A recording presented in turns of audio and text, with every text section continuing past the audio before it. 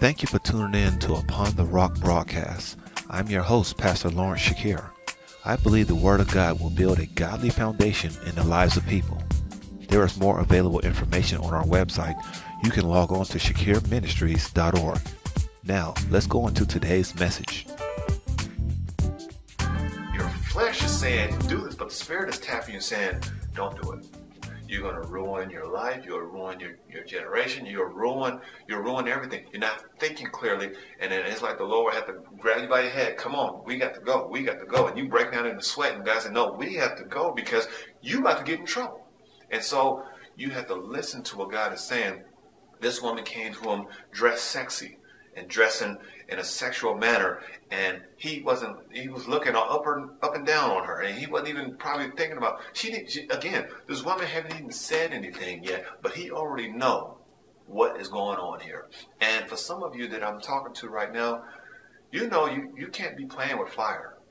And you know exactly what i'm talking about. You can't just look at that person and play with fire. Oh, I'm just talking to him. Oh, I'm just flirting. Keep on and see what happens because that's what that's what the enemy is doing. You haven't even said the conversation yet, but it's already in your mind. And sooner or later, if you're not careful, you'll find yourself doing something that you say you'll never do. The best thing for you to do is to end it now and to stop it now before things start to grow. Okay? And I don't know why I said that, but I believe that it was for somebody who really need to hear it. Because too often we start something that we don't know how to get out of. Either you're too nice or you're too gullible to either say no, but you need to know how to just hit the brakes and say, I'm not going there. Because you already know that if I entertain this relationship, something dealing with sex is going to come up. And I already know, and I don't want to ruin my life. Okay? And that it takes wisdom, but it also takes strength to do that because everybody can't do that. Some people say, well, you know, if that opportunity comes, I'm sorry, you're going to have to forgive me, but I, I got to hit that. No, you do not have to hit that. You can just be what God called you to be. You don't have to be what the world calls you to do. Okay? Look at this. So uh, she was brass, she was wise, and um, she she never stayed at home. She was the rebellious type that never stays at home. Verse 12, she's often seen in the streets and the markets soliciting at every corner. I wonder what she's soliciting. I wonder what she's selling. She's always out there on the corners. She's always out there showing her goods to everybody. She's always out there. And the Bible talks about she's uh, she's loud. Did it say that? Yeah. It says that she was brass, rebellious type, never stayed at home. Um, uh, I'm not sure if it says it, but it, it says it uh, later on that she's a loud woman. And sometimes the the bad side or the uh, the one that God does not want you to see can have a louder voice than the ones that God does want you to see. What am I what am I saying by that? You know, you know, I hear people that say there are not a lot, a lot of good men out there, or there's not a lot of good women out there. It's only because they see or they hear the loud ones, the rebellious ones, more than the other ones. I assure you, there are good men out there because I've seen them. I talk to them. They have their own house. They have their heads set on straight, and they love God, and they they're single, and they you know they they're waiting to meet the right woman. But too too many loud, rebellious, uh, unpure ones are are, are, are saturating the scene that you can't even they can't even see the good ones. Same thing with, with the women. They said there's not a lot of good men out there, or or, or so far. I, am sorry, I said that last time, but the men say the same thing. There's not a lot of good women out there, but they are. There are some beautiful Christian, God-fearing women that don't want to show the world their shape and don't want to show the world uh, everything that they have, and, and and and they choose to to remain pure, but they're not getting the uh, attention. They're not getting the, um, the, the broadcast like these loud, rebellious kind. And so she's loud, it says, and uh, she's always at the corner. And, and, and watch this. It says that she threw her arms around him. She's aggressive. She threw her arms around him. She still hadn't said anything at this time. Have you noticed that? All she did was do her body language, and she, she her reputation of being loud has preceded her. The Bible says she threw her arms around him, and she kissed him. Oh, there you go. She kissed him. She threw her arms around him. She made the first move.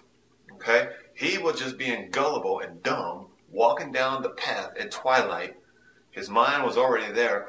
So by the time she threw her arms around him and kissed him, he was already hers. She already she already knew that. That's what made her throw her arms around him and kiss him. And sometimes the enemy knows that you have already gone over that edge, that you have already gone to the point where there's no return. And so he sends just the right one just to come and just wink at you or hug you or, or kiss you, and then you already fell. She still hadn't said anything yet. But she done everything else. She she wrapped her arms around him and she kissed him. And with a brazen or a sly or a sexual look, she said, now she said something. Okay? With this brazen look, she said, I have offered my sacrifices and I just finished my vows. It, it was you I was looking for. I came out to find you, and here you are. Notice what she says now. I have offered my sacrifices and finished my vows. That is a religious uh, statement. So she can be religious. Oh, yeah.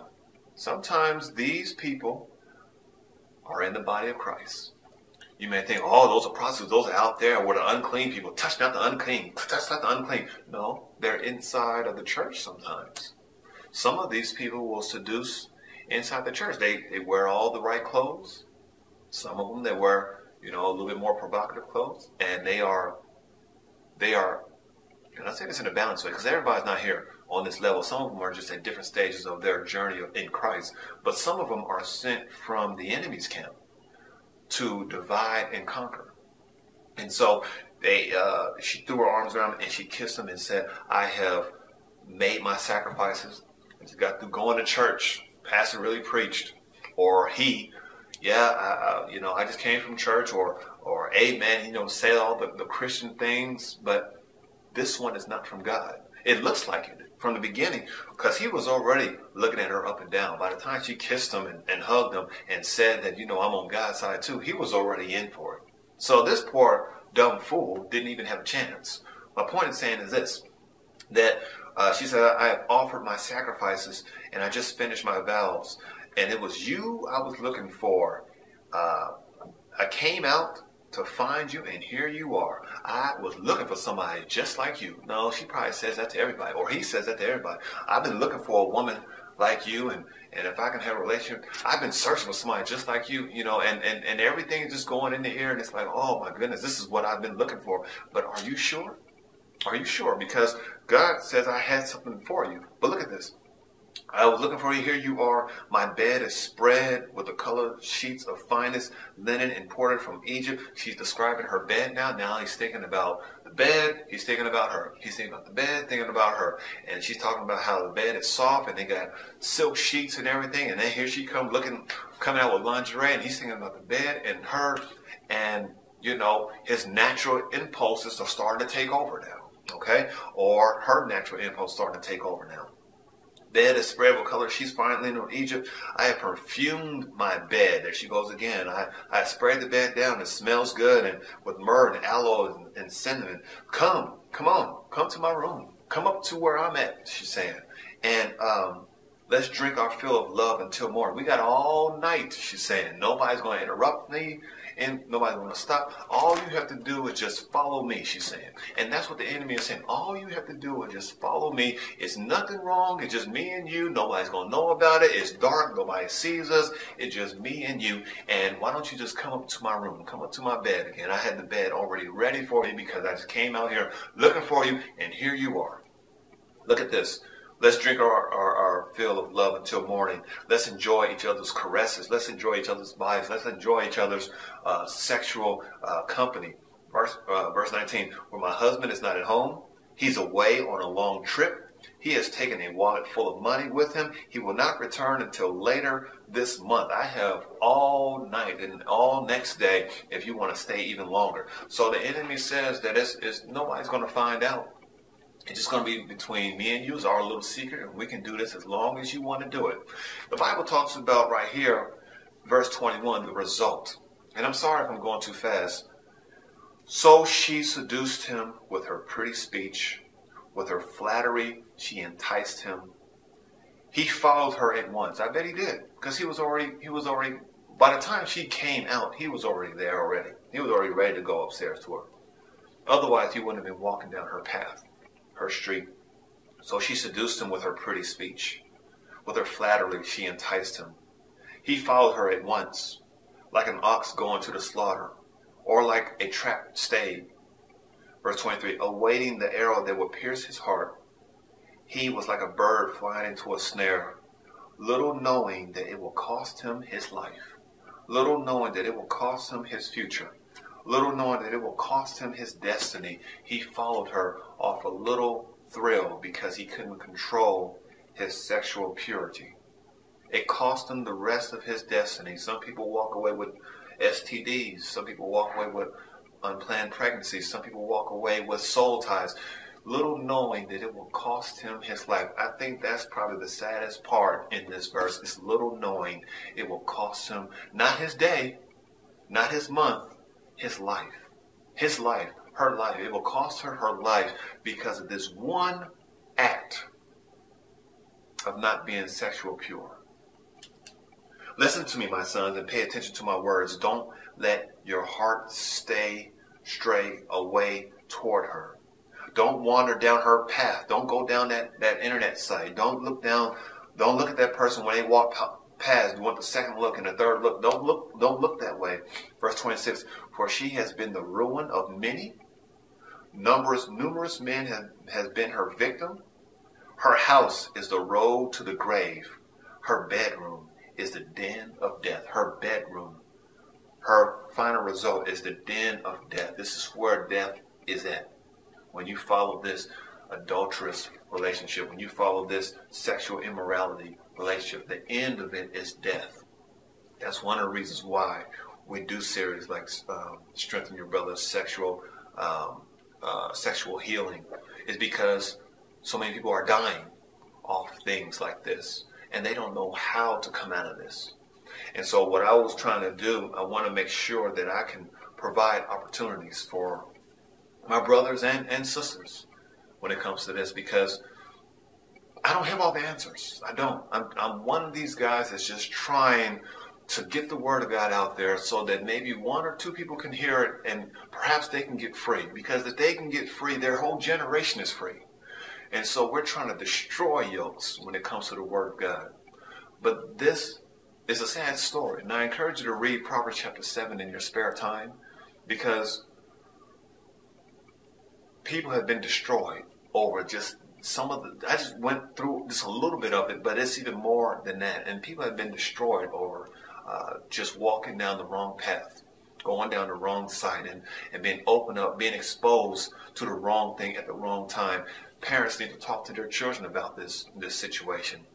If you have boys or girls, and inform them before the world gets to them because they got to have the right idea.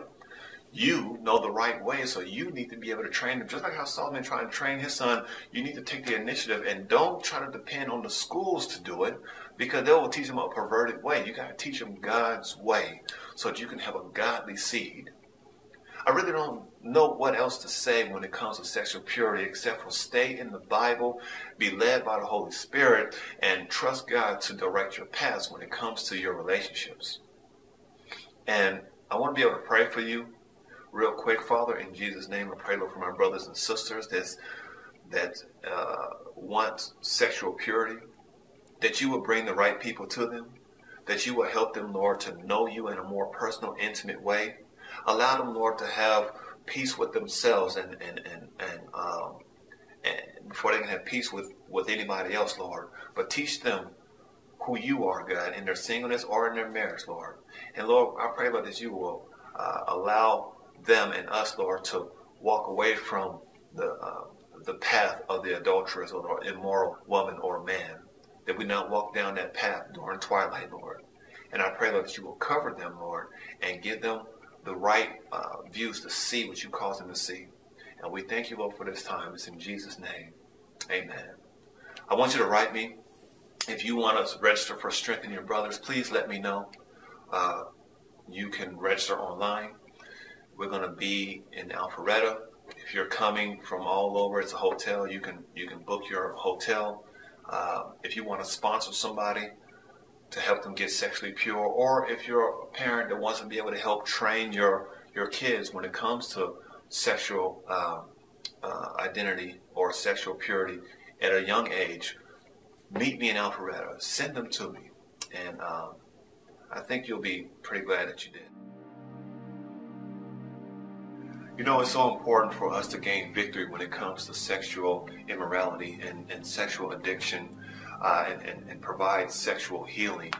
You know, this is a, an issue that's hurting the body of Christ. I mean, we're losing thousands and tens of thousands of, of men and women when it comes to this issue because so many people are, are being held down, can't reach their full God given potential because of this particular stronghold. What we're trying to do is do our part is to help strengthen our brothers and help strengthen our sisters as well so that they can become everything that God called them to be. So that's why we're putting together this seminar called Strengthen Your Brother's Sexual Healing. Originally, it was going to be just for men, but we need to also have some for the ladies as well because it's not just the men that really have this issue.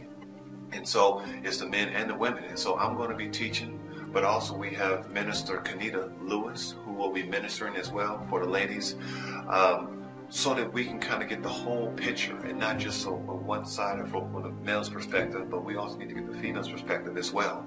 Okay, uh, the registration fee, when it comes to the registration, we're going to leave that up to you. Okay, so it's going to be a gift of any amount. You don't you don't have to worry about a certain uh, you know amount. All we ask is that you please come on time and you be prepared to stay for the entire seminar. But uh, whatever you give is going to help us to be able to give back and to build more workshops and build more people. And so keep in mind, if you do decide to give anything, that it helps us to continue the work of the ministry. And so, and those of you that can do more, we appreciate you. For those who can't do as much, but we're going to leave the registration fee totally up to you. But I believe that there's healing that's coming. I believe that people can be set free from this bondage. I believe that people who have had strongholds for years can can potentially see the deliverance that they've been praying for. So that's what we want to do. We want to help you. The Bible talks about iron sharpens iron, so shall one man sharpen another. Two of the same thing can only make it better. And so we're going to share our, uh, you know, our experience. We're going to share workshops. We're going to, um, you know, give everything that, that that God has put on our heart for you.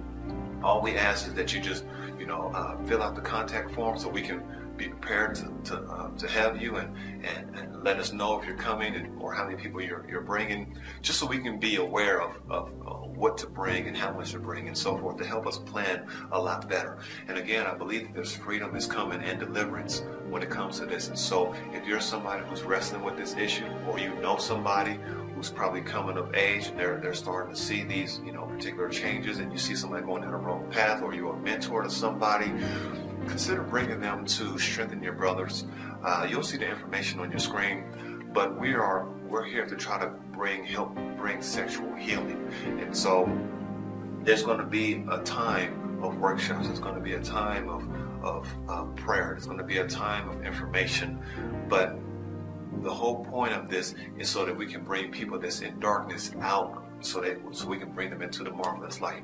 And so meet me in Alpharetta. I think you'll be uh, pretty glad that you did. We promise not to waste your time. We will give you the word of God and we will we will go by the word of God line by line, step by step, so that you can get results in this particular area. Because what can you do if you were free from this certain bondage? What would you do if you didn't have this particular stronghold in your life? Can you change the world? That's what we're trying to do. We're trying to help provide, give you the information, give you the tools that you need in order so you can go out and win the loss in your world. So meet me in Alpharetta. I think you'll be glad that you did. And thank you so much for tuning into this broadcast, and I hope to see you there. Strengthen Your Brothers is a four hour sexual healing seminar designed to assist both men and women overcome sexual struggles. This seminar will be held Sunday, April 27th, 3 p.m. at the Courtyard Marriott, 12655 Deerfield Parkway, Alpharetta, Georgia 30004. To register for Strengthen Your Brothers, log on to shakirministries.org and fill out the registration form on the contact page. There's no cost for registration, but space is limited, so please register today. Thank you for listening to Upon the Rock broadcast. If this message has been a blessing, you can help us spread the gospel by sharing this message with your friends. Also, if you're online, please be sure to contact me either through our website at shakirministries.org or through social media. I would love to hear from you. Together, we can build a godly foundation in the lives of people. Until next time, please know that I'm praying for you and I hope to see you on our next broadcast.